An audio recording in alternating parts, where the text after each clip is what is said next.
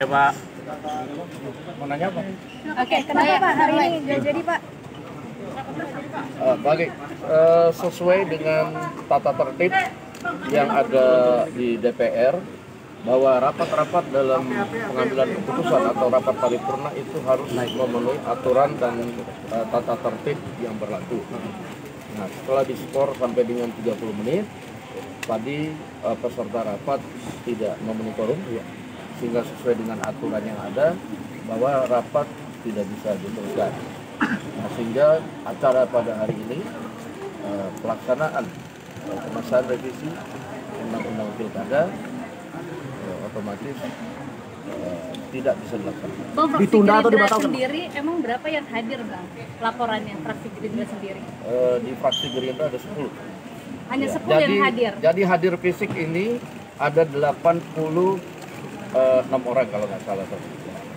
Bang, ini ditunda atau dibatalkan?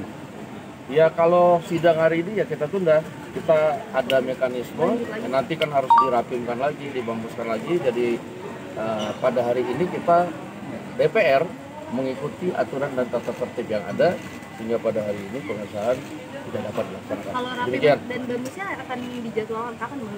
Ya belum tahu. Apakah nanti akan sebelum 27 Sebelum Agustus pendaftaran 29 atau gimana, Bang?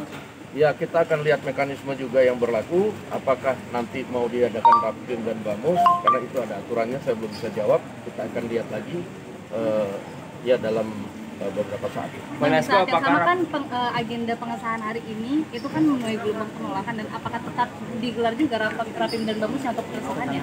Ya nanti kita akan melihat perkembangannya ya. Kita akan eh, rapatkan dan kita eh, DPR itu adalah lembaga perwakilan dari rakyat dan tentunya juga akan melihat aspirasi dari rakyat. Demikian. Pimpinan DPR akan ke depan nggak, Bang?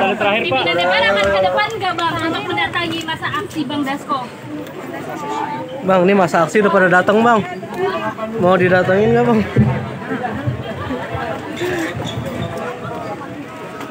Totalnya berapa? Enggak.